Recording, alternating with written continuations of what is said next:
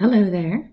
In our Let's Get Medieval episodes, I've often spoken about manuscripts and different versions of texts and different manuscripts, and I figured why not dive into what a manuscript really is? So that's what we're going to do. We're going to go into the nitty gritty of the manuscript making process. Welcome aboard the International Express to Book Central. Grab a seat, settle in, and let's get medieval.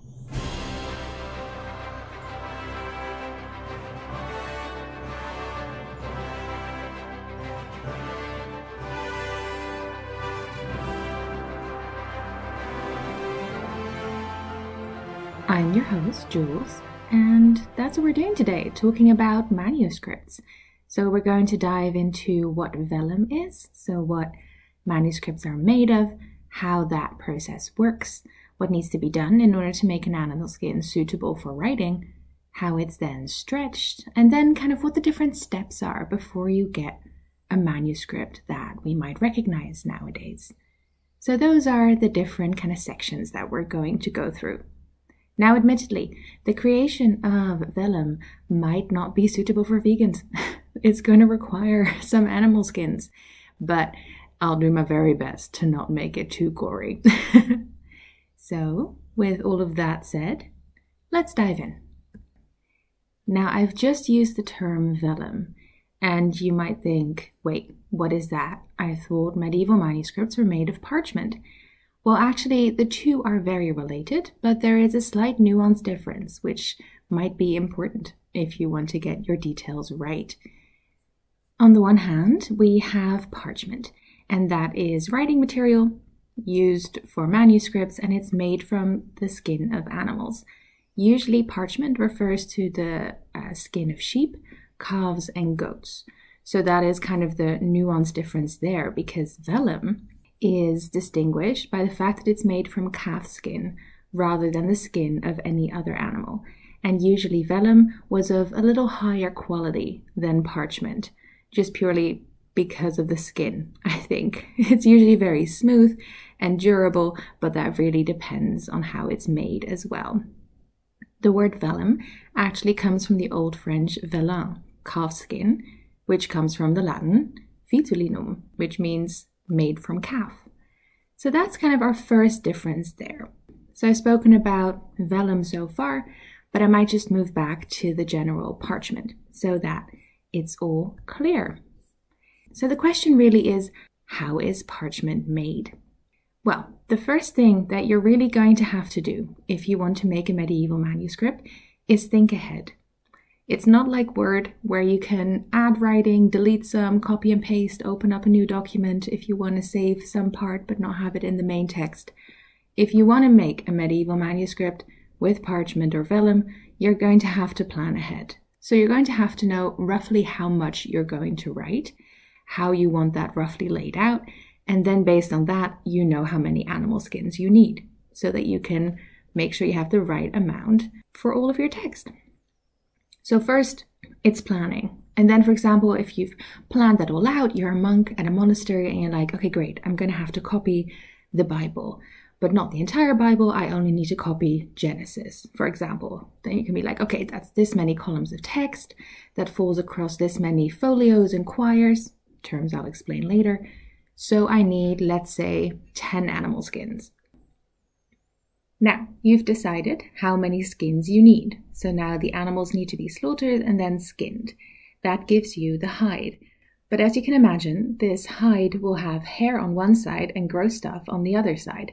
So the first thing that happens is that it gets soaked in water for about a day. Then the dehairing process starts. And everything I've heard and read, because people still make parchment to this day, so everything I've kind of seen is that the stuff that gets used in order to get rid of the hairs is that it stinks to high heaven.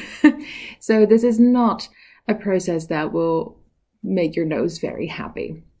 The skins get put in there for a pretty long amount of time. So I think this can take at least a week, if not maybe a week and a half.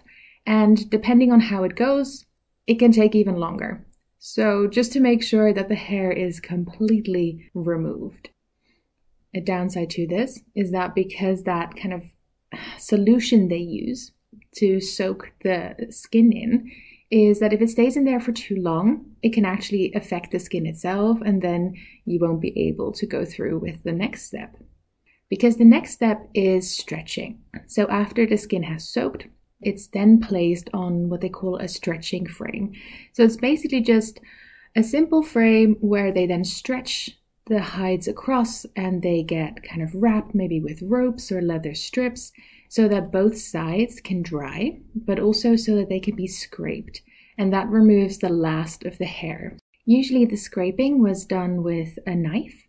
And of course, I'd have to be very careful to make sure not to nick or cut the skin in any way, because of course they want to be writing on the parchment afterwards. The good thing though is that the skins were made of collagen, which means that they would really dry and stiffen properly so that they kind of keep their form. They don't just kind of slump into a heap afterwards. So at this point, we have a stretched surface, but it still is very much an animal skin. Often they use different kind of treatments to make it look a little bit nicer, to maybe make it a uniform color, for example. But this really all depended on how fancy the manuscript was supposed to be and if they needed it to be of uniform color or not. I mean, if this manuscript is going to be a gift to your local count or lord, then yeah, you want it to look a little bit nicer. But if this manuscript or this parchment is just intended to provide you with space to write, I don't know, your monastery accounting, then maybe it doesn't need to look as nice. As I mentioned, of course, with the animal skin, you will have two different sides to it. There's the side that was on the outside of the animal, which has fur, and then there's the other side. We actually do make a differentiation between that. We call it the hair side and the flesh side. And the reason that we can make that difference is because when you take a very close look at parchment or vellum, you can actually kind of see where the hair sacs would have been. And sometimes you can also still see veins kind of running through on the other side. That might feel a little bit gross, but it's actually very interesting. So at this point, the animal skin, the hide has been dehaired, it has been stretched, and it has dried to the point that it can now be considered parchment, which means we're kind of entering into the next stage, which is preparing the manuscript. As I mentioned at the beginning, a very important part of making a manuscript is planning ahead. So usually they would already know how many, well, I guess what we would call pages they needed, except that pages wasn't really the measurement they used in the Middle Ages. Instead, they would think about folios and quires. So, to start with the bigger unit, which is a quire, a quire is a group of several sheets of animal skin put together. And this was really the basic writing unit throughout the Middle Ages. A quire, so a group of sheets, would be made up of folios, which are a single sheet, and you may have heard the term folios before already. So a folio is really one big sheet, which then has a number of different sides. So we often refer to the recto and the verso side of a folio. And well, what do recto and verso mean? Well, they are shortened from Latin terms so we have recto folio, which means the right side of the leaf. And then we have verso folio, which means the back side of the same leaf. In countries where we read from left to right, your recto would be on the right side, it would be the right page. And then as you flip that, on the left, you have the back side of the page. So that's basically how you need to envision that. So a folio would have a recto and it would have a verso. So to give you some numbers, which might help, although it might also be confusing, in which case I apologize. But imagine you made up your quire of four double sheets. So four sheets of animal skin that can be read on the front and on the back. Once you fold that, you would have eight folios. So you would have eight sections which can be read on the front as well as on the back. Overall, that gives you 16 pages. Now, it very much depends on what kind of animal skin you have, how big it is, how many quires you can get out of it. Because a skin might not be very large, so maybe you can only really get one sheet out of it. Or maybe it's very big and you get two or three. And what is actually quite fun is that in a lot of manuscripts, we can see, for example, that the edges aren't entirely straight because it was just the end of the skin. So there's maybe a little part missing, or there's maybe a little hole, or there's only half a page because that's what was left. And that's always a really fun insight into how these things were made. So we're a little bit further in the process now. We have we have prepared our skin, we've turned it into parchment, and we have prepared the materials that we kind of really need for the writing. Except there's still some other steps to go, of course. And I don't know what it's like for you, but my handwriting is not necessarily good enough that I can just write on a blank sheet of paper. I do need my lines. And the same was true for the Middle Ages. So, something that they would do, and which we can still see evidence of in manuscripts as well, is called pricking, where they would basically prick little holes in the sheets uh, in preparation to then have it ruled so that different lines are being created on which they can then enter the text. This was usually done on horizontal lines, but there would also kind of be vertical kind of boundary lines that would show you where a column of text would end. And in some manuscripts, we can see that actually they didn't need all the space, and therefore we can still kind of see the lines that were made to bound off where it was meant to end. So now, basically, we have our material in the sense that we have our parchment. We have measured out what the sheets are, how many we need, and we've created columns for our writing so that basically we can get started in copying the text that we need onto this parchment.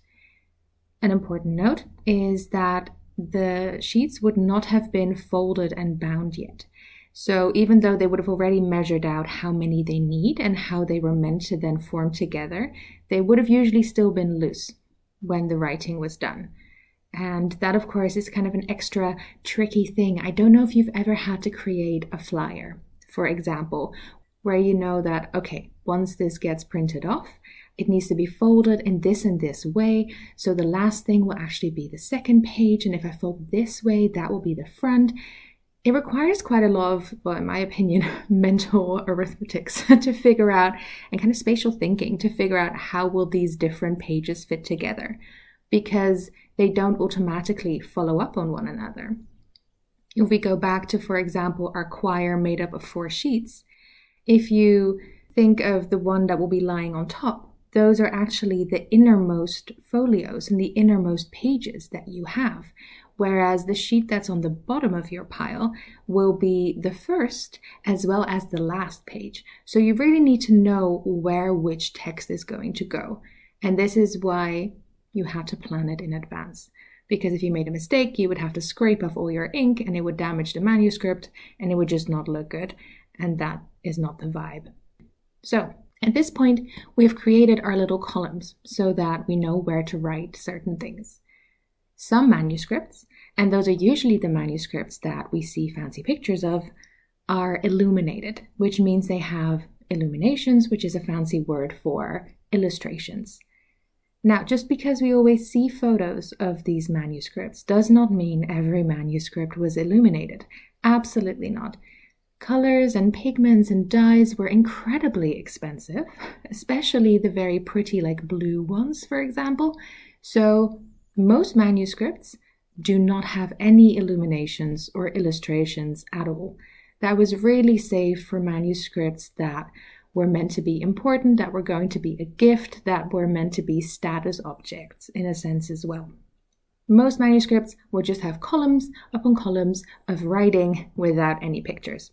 But if they were going to add pictures, then they would have created space for those in advance. So as they would prick and rule the columns where the text would go, they would also figure out where they want to place certain illuminations. Sometimes, if the manuscript that they were copying the text from also had illuminations, then they would just place them in the same way. So they would say, okay, so my exemplar, my example text, has an illumination on folio 3 recto.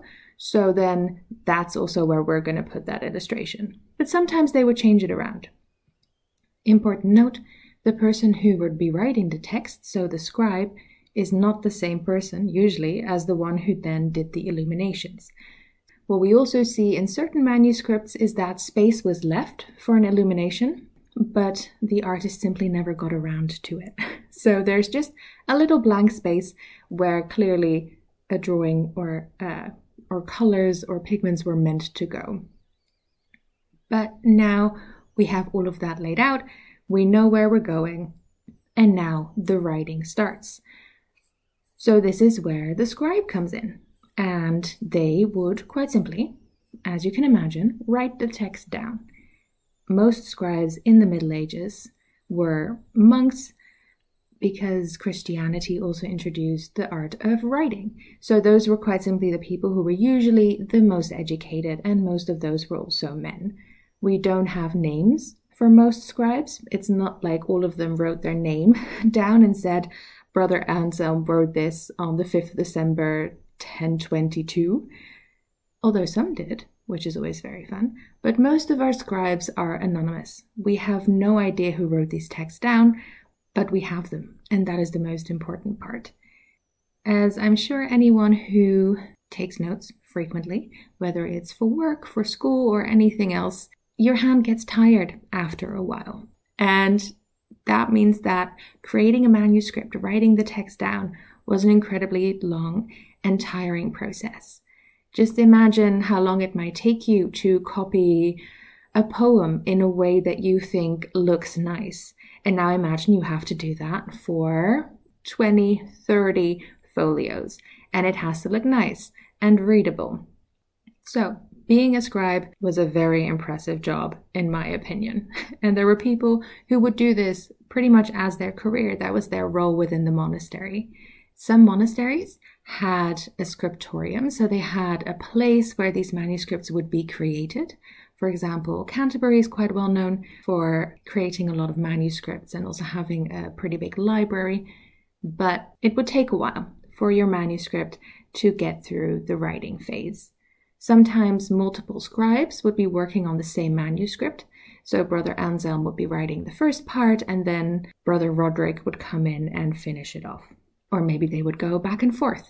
And we actually can kind of note differences in people's styles from the writing. We can see certain scribes writing very carefully, and then we can see others just being a little bit sloppier. And that's always quite fun to get to see differences in how people approach the text. Now, as I said, they would usually be working from an exemplar. So from a different text, which maybe was on loan to them so that they could copy it, and then they would return the exemplar, and then they would have their own copy of it. And that meant that these scribes would be reading and then writing, reading, then writing, etc. And as you can imagine, sometimes that led to people maybe missing a line, repeating certain words. If the same word gets used in two sentences that follow each other directly, maybe their eye would accidentally jump over an entire sentence. So there's all these little kind of differences, which means that every manuscript, even if it tells the same story as other manuscripts, is different in its own way. Because little changes get made, little things get missed, and we also have scribes who clearly thought, I don't think this is necessary in this story, or I don't need that part of it. Or in this section of the tale, it's referring to a place in France, but we happen to be in Iceland, so we don't need that. And that is how we get so much what they call mouvance and variance in these different medieval texts, because every manuscript is a slightly new adaptation of material. So now we have stretched our skins, prepared them, we've created folios, we have written our text into it, the next step would be for the illuminations to be added if they are necessary. So the final step would be to bind the book. So at this point, we would have the quires actually being formed. So the the pages or the the leaves and the sheets would actually get folded into kind of an ordered stack of sheets which are in the right order and then they would be bound together, usually into a codex style book. So you might have already heard of a codex before. It's basically the ancestor of just the modern paperback or hardback. So instead of just being loose sheets, they are then bound together. And this form of bookmaking has actually existed, I think, since the 5th century at the very least, but I think it actually already came up in the Roman Empire. So that form of reading books is pretty old. There are also scrolls. They were still kind of quite popular, I would say, in the early, early Middle Ages, but they got replaced pretty quickly. So now you're binding the book, you're binding all the folios together, making sure they line up nicely, and then you bring in covers. And these are usually hard covers. So they might be made out of wooden boards, for example, and they might be covered in leather. If you have a very fancy manuscript that you want to present to a king or an emperor, which absolutely happened, then this would become a very fancy cover. So you might add gemstones or illustrations on the cover, use really nice leather instead of wooden boards, and all of that. But most manuscripts just had two slabs of wood. Now, of course, a wooden cover covered in leather and maybe using metal to keep all of that in place, that's not great for your parchment. So, quite often, they would also add fly leaves. So, those would be bits of parchment they just had flying around, which would go over the title page, so between the title page and the cover, to make sure that the cover and the book itself would not be harmed. What is actually interesting is that these little scraps of parchment that would get used for fly leaves were quite often bits from old manuscripts that they didn't need anymore, or bits of parchment where people had been doodling or practicing, etc. So every time we I see a new manuscript, I always find the fly leaves very interesting as well to kind of see, okay, where does this come from? Is this part of a different text, or is there anything kind of funny or personal written on it that give me an insight into what medieval life was like. And a project I once worked on uh, back in the Netherlands, we actually got to look at some fly leaves for an incunabula, which is one of the first sort of printed texts. And they'd actually used an old medieval manuscript of a Cicero text. And that was really fun to look at and be like, okay, so they had this text from Cicero on rhetoric, but they clearly didn't need it anymore. Maybe it was a bad copy, or maybe they'd found a new version and they just didn't want this. And to then kind of look at it and be like, okay, so how would this have made it there and why did they use it here? And that can make medieval studies something of a detective work, which is always fun. Manuscripts were really the basic way of copying down text from most of the Middle Ages. And that was the case until the printing press arrived. But it's not as if the printing press was the first ever revolution of the literary arts, to put it that way. In China, during the Western Han period, so that's around 202 BC until 9 AD, they'd already been working with paper made out of hemp. So they'd already kind of introduced new improvements and different ways of actually making paper rather than using animal skin. And there were a lot of different developments in bookbinding in what I would call medieval China, although, of course, the Chinese culture has its own way of reckoning its history. But during the period that in Europe is the Middle Ages, China was really making different advances in forming codexes, folding things in different ways, stitching bindings in specific ways, etc. Now, that brings us, however, to the European case, because in roughly 1440 in Germany, Johannes Gutenberg invented the first movable type printing press, which started the printing revolution, and that is usually written with capital P and capital R because it did absolutely revolutionize the way in which people could access reading material. But it does need to be mentioned that it's not as if after Gutenberg invented that at the end of the 15th century that suddenly everyone had access to a printing press, the way many people now maybe have printers in their home. Absolutely not. Printing was also very expensive, and there were a lot of debates about what good literature is. It's no surprise that the first thing Gutenberg printed was a Bible, because there were a lot of discussions, uh, which we can kind of pick up from different hints in texts and manuscripts about what should be printed, whether it was maybe a bad thing that so much writing would now be available to the masses. So, kind of think of the uproar about, oh, the kids are always on their mobile phones at the end of the 15th century at people saying, ah, the kids will always be stuck with their noses in printed books when they should just be in the fields working or something. so that has also always been part of our history. But with the printing press, there was a change in how literature became kind of more widespread because it did simply make books more accessible. It reduced the time that it took to create something. And they'd already been working with paper a little bit more around that time, but the printing press just really sped the entire thing up. The first few printed texts, I would say from the last quarter of the 15th century to maybe a little after the turn into the 16th century, are usually referred to as incunabula. And then after that, we just speak of printed books. So that was an almost half hour long introduction to the art of making a manuscript. There are a lot of different steps to it. A lot of it is very labor intensive, especially the part of actually turning an animal's skin into parchment or vellum.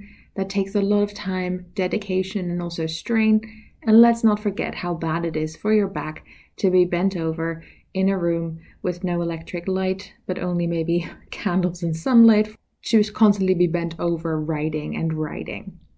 So, all the manuscripts we have, even if by now they look old and a little faded and they're not pretty because they don't have nice pictures in them, they're all such works of art, even if they don't look pretty. But there's so much human ingenuity, creativity, dedication, and perseverance in each manuscript. And I'm just so glad that so many, many of them have still made it. I'm also not mad that we've switched to paper and printing because that is a lot easier, but but I still have a massive respect for the time and effort that went into manuscripts every time I get to hold one. Little note, when you're working with manuscripts, you don't need to wear fancy white gloves, even if they like to do that in the documentaries on TV. They do that because it looks fancy, but actually, when it comes to parchment, it is better if you use your fingertips because that way you can actually be more gentle with the paper. You can feel if it's fragile or not, whereas with gloves, that might not be the case. If you're working with papyrus, which was created way earlier and usually is from the classical or antiquity period, you should be wearing gloves because the oil of your skin will probably damage the leaves otherwise. But parchment is animal skin, it's oily by nature, so you can just touch that, but with care. That was plenty of information for me, I think. So, with all of that said, that's it for today. If you have questions, thoughts on the book, or recommendations or requests for future episodes, feel free to leave a comment or send me an email at bookcentralpod at gmail.com. I'd love to hear from you. You can also subscribe to be informed when new episodes drop.